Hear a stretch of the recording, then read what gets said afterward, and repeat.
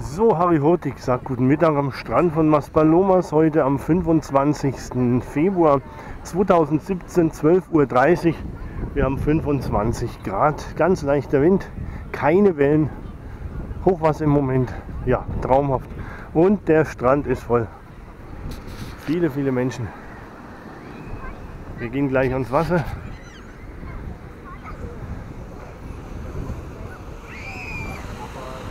So sieht es aus wie in der Hochsaison. Gucken Sie sich das an.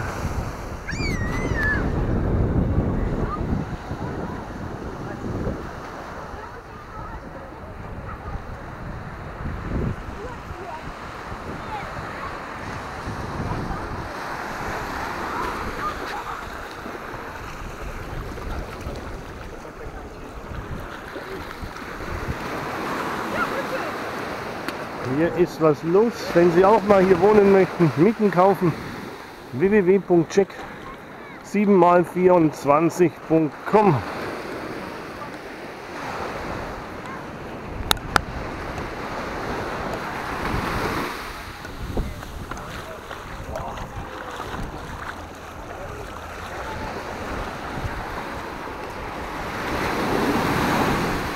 Ja, Wassertemperatur ca. 19, 20 Grad.